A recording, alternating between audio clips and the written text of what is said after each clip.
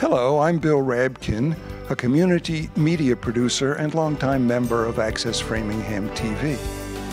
I'd like to wish you and yours a very happy holiday season and a happy and healthy new year.